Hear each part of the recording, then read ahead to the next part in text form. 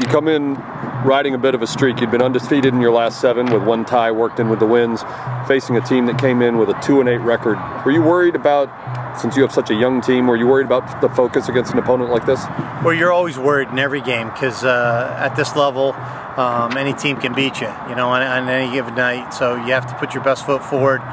You have to make sure that you're doing the things that, that you prepare for, and um, and we did, you know, and we got the goal often uh, and had a number of uh, quality chances and finished you know several of them. So it was a nice night for our fellas. Did you and the other coaches talk to the players about it, or did you leave that up to the upperclassmen to sort of make sure everyone's focus was no, on we, point? we spoke to them before the game to make sure that they were tuned in and, and uh, knew the importance of the result. Um, obviously, we got some very difficult games uh, coming up. We don't want to. Uh, uh, we didn't want to get ahead of ourselves, so we uh, focused, you know, tonight on, on Central Arkansas. Now we'll turn the page and, and deal with South Florida. Obviously, you look at the scoreboard 7 0 final score, you outshoot them 23 to 2. Did your team play as well in your mind as they looked on the stat sheet?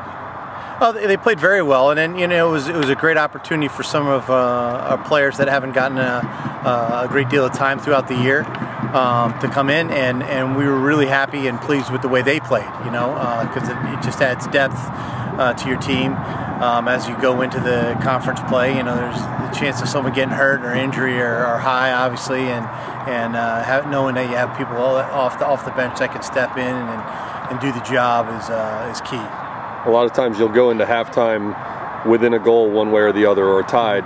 Today you went in 4-0 in yeah. the lead. What did you and your coaches talk about at halftime? Well, we felt pretty confident that we would get the result at that point. Um, you know, we were uh, committed to coming out and, and playing good soccer and wanted to make sure that we were pushing ourselves.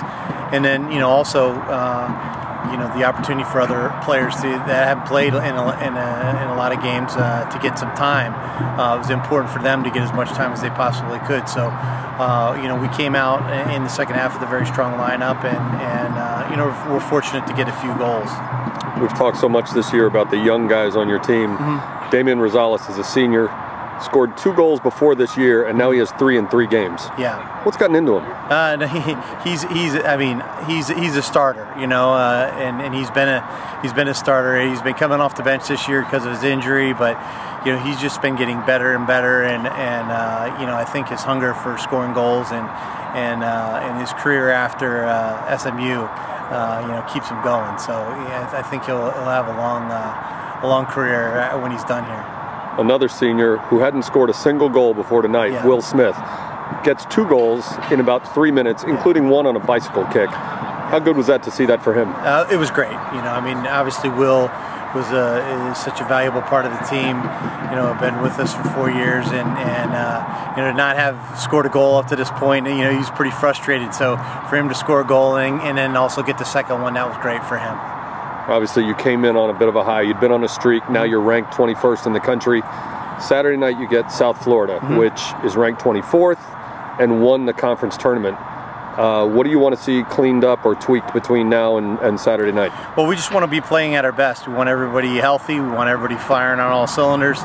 And, uh, you know, we know it's going to be a very difficult match um, against a very good USF team. And, uh, you know, we just want to make sure that we're doing everything that we possibly can to, you know, to, to get the result.